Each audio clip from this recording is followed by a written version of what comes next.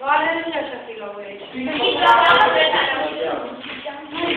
Chi lo vuole? Chi lo vuole? Chi lo vuole? Chi lo vuole? Chi lo vuole?